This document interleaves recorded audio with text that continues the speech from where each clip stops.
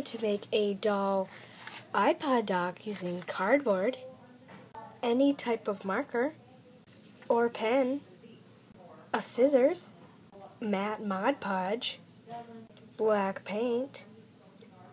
You're also going to need some hot glue. Start by cutting pieces of cardboard. I'm using a thickish cardboard and stacking it on top of each other to be any shape that you want um, for the speakers. I chose to do this shape. Now what you want to do is you're going to take a piece of cardboard and make about a centimeter or so that comes out. Now that you've done that, now you're going to take a little piece of cardboard and glue it to right about right there. Now I painted black and then I'll cover it with Mod Podge. So here is your finished product.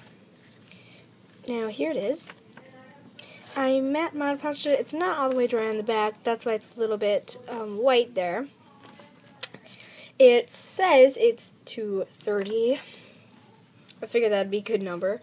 Um, it's not all the way dry here. It's pretty dry. See, you can still get a little paint on your hands. Um, so yeah, here it is. This is great for your doll. So thanks for watching, guys. Give me 30 subscribers. I'm about two subscribers away. Thanks for watching, and bye.